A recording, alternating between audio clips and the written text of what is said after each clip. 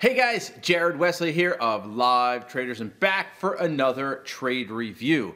Today guys, I'm going to talk about a few trades that I took. It's actually two different symbols, but multiple trades on those symbols. A couple trades on SQ and one trade on Facebook. And as the title says, I lost 1300 and some dollars today. And you know what? These types of trading days can be uh, frustrating. Why? Because I stopped out a couple times on SQ, stopped at break even on Facebook, and what do you see? You watch them just go like this for the rest of the day. And you're just like, right symbol, wrong time. And once in a while, guys, you just took a bad trade and it didn't work. And other times you took a decent trade at the wrong time right? Does that make sense? And then there's a third option. There's another time where you took a, the right trade at the right time, but your specific or particular trade management doesn't work that well for that particular trading day. And that's kind of what happened here today. So let me talk a little bit about SQ first, okay? This was a pretty good gap up, gapping up over that 209 area on the 60 minute chart. Um, and it was just, it was a nice trade, okay? Meaning the gap up on the daily was decent. The 60 minute chart was pretty good, right? You can see it over that resistance area. There was room for this thing to move above. But one of the areas that was a little bit challenging was the 15 minute chart. At the end of the day yesterday, SQ just ripped straight up, right? So it was grinding higher, grinding higher. And in the last 30, 40 minutes of the day, it moved up like five or six dollars, which that's okay. It's very bullish. That's good. But then it gapped up again today. Well, I did really like SQ today, but that 15 minute was a bit of a concern. So I thought to myself, you know what? I want to see SQ just pop quickly off the open. We'll have a hit and run trade, get in, get out, and move on. Well, I tried that. We used a one minute three bar play. So the pattern itself was perfect, right? A wide range bar followed by a narrow range bar we got in right around 214.60 with a stop at like 213.50, 213.60, something like that. Uh, and this thing actually initially just ripped.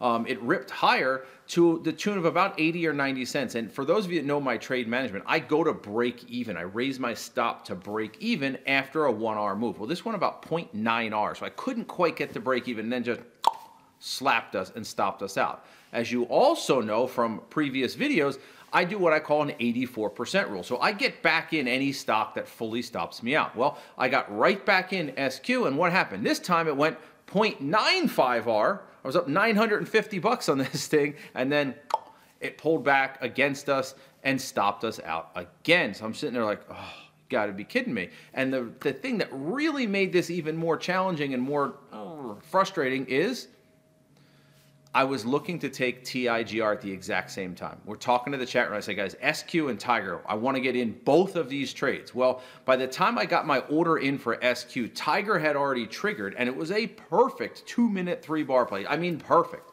And sure enough, what's the one that worked? TIGR worked pretty painlessly, and then SQ stopped us out. So it's just, you juggle it sometimes. You can only do so much as a human being, meaning I wanted to take both trades. I commented to the room, let's take both trades, but you got to put them in one at a time. Well, even with hotkeys, even trading very quickly, I couldn't get both orders in. One stopped, one worked. It is what it is. That's life, that's trading. And then ultimately, SQ finds itself at 218, 219, and ultimately works, but after shaking us out. That happens sometimes, guys. There's nothing we really did wrong. It just sometimes the market gets you by the short hairs, and sometimes your management, you know, triggers you out of something. Then later on, not much later on, I took Facebook. And this was a challenge, guys, because the markets today were very, very weak. The Qs and the SPY, the IWM were very weak. And what was happening with Facebook? It was holding the middle of the range. So the Qs are down at the bottom of the day's range, at the lows of the day, and Facebook is holding the middle of the range, which is a very, very bullish. And for those of you that are in the chat room, you know, whenever I see a FANG stock that's showing relative strength or relative weakness to the market, I am hot to trot. I am all over it. I probably have a 90% batting average on these. I'm serious because when you can see a FANG stock, because they make up, you know, the top 10 um, most weighted stocks in the NASDAQ 100 represent 51% of the weight of the NASDAQ 100. That's crazy. But anyway, Facebook happens to be one of those. So when you see the markets at the lows and Facebook's near the highs or in the middle of the range, you need to find an entry in it. Well, we got a little bit of a mid-level wedge uh, right around, I think it was the $310 area, $315 area. I don't remember exactly what the area was, um, but I think it was 314.50. Let me double check. My bad. It was $327.50 with about a $1 stop loss, $326.50. So it was a $1 stop loss. We're breaking above this wedge, okay? And it pops up, okay? It did a really nice job. It popped up. It went exactly 1R, okay? So I took a little bit of my shares off, and then what did it do? It went back down six cents below break even, six cents, and then went higher, went about 1.5, 1.7 R, something like that. So ultimately on Facebook, I ended up making like $76 on it or something like that, okay? And it's a shame because it's a stock that looked like it might work. Now, ultimately, the market did tank and Facebook started pulling back. Now, what was challenging about Facebook, guys, was it was up four days on the daily and it was nearing some resistance. It had about one hour, one and a half hours worth of room in it. I said this to the chat room, guys, Facebook's a bit extended on the daily. This is a stock I normally would not have taken but the relative strength to the market was so extreme, so ridiculously good, I didn't have a choice. I mean, the market's at the low of the day and Facebook's near the high. That's rocket fuel. Market gets a tiny little green bar, Facebook takes off. All right, so we were just a little bit unlucky with management on Facebook. I think ultimately this, this trade probably would have worked, but at the end of the day, Instead, you know, I ended up losing about 1350 bucks today, which is about 1.3 R. Not terrible. I mean, if you're going to have a losing day, keep it relatively small. So minus 1300 isn't too bad. Uh, it's just frustrating because you're watching SQ go higher, you're watching Facebook go higher, and you know you were in the right stuff, but at the wrong time. So what's the lesson here? Go back and review your trades at the end of the day and find out, did you do anything wrong? And when I look back today, not really, right? Facebook, it was more the management that got me, not the market, not the stock, not the extended nature of the stock. When I look at SQ, it was a bit aggressive because a one minute three bar play at 9.33 in the morning is always aggressive. Um, the 15 minute was a little bit extended, but I knew that, right? I even commented to the chat room, this is a hit and run trade, guys. We got to get in, got to get out fast. Well, it popped and dropped a little too quickly. So were they a little aggressive? Hmm, they were, but we take aggressive trades frequently. So it was one of those days you look back on and go, you know, I knew what I was getting myself into. I knew what the expectation was, and I managed that expectation. They just didn't work. And if you'll notice how close it was, we're literally talking about six cents, okay, on Facebook that went to break even versus being an $1,800 winner. And we're also looking at about 10 cents, something like that, between SQ going up to break even and then if it pulls back and stops us out, so what? We don't lose any money. So in a lot of ways, today could have just as easily been a $2,000 day instead of a minus $1,300 day. Why is that important to understand?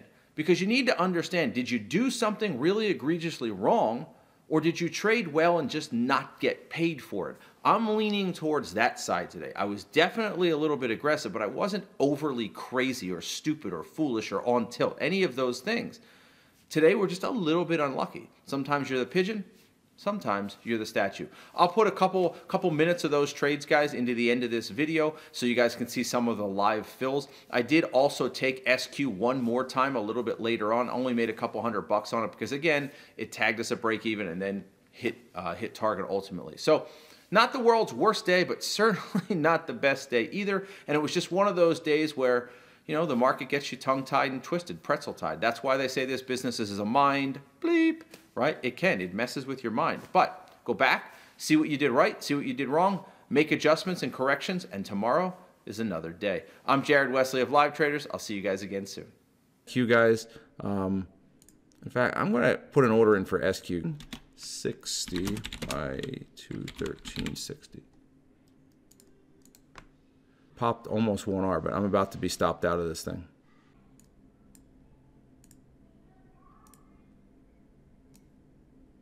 Keeping an eye on SQ. All right.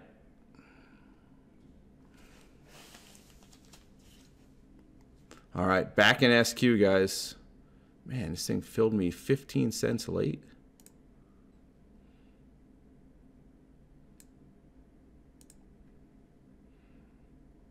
Did the same damn thing. Didn't didn't quite go.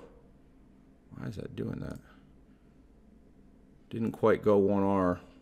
Went about 0.9. Unreal. on SQ today. Unreal. Okay. So unfortunately SQ 84% is not going to work. It's about to tag me here. Yep. All right. I'm out SQ, guys. And um, trying to decide if I want to.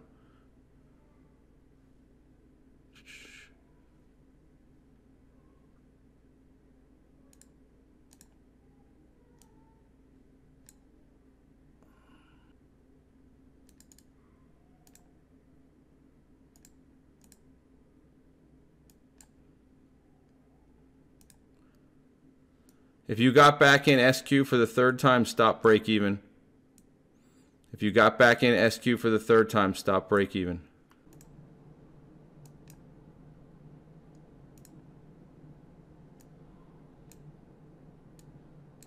All right.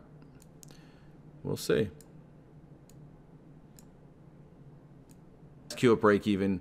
I made 300 bucks off that thing, so uh, fast trigger. I was not expecting that. This, you know, is a little bit aggressive on Facebook because of the daily.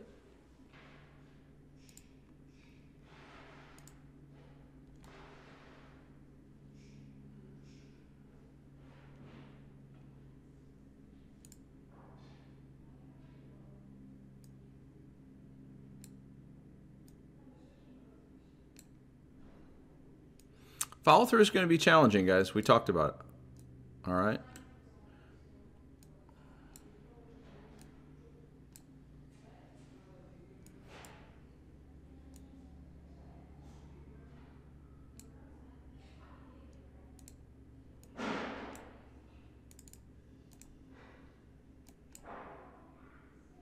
Really?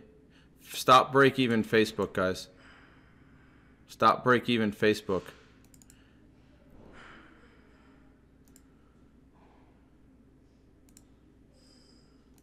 All right, stop break even Facebook.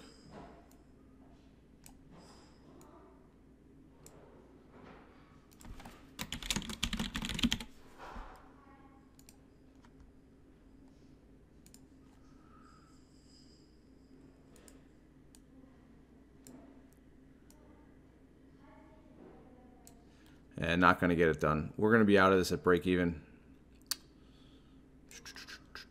Come on, bounce. Nope. It's got some daily junk to the left. This this wasn't the best trade in the world. The fact that we got to break even is okay with me. Um, I was hoping to get more off up there, but it just wouldn't fill me. Um, so, can I take a look at Dow Long? All right, here comes the Facebook guys. All right, I'm out Facebook at break even, guys.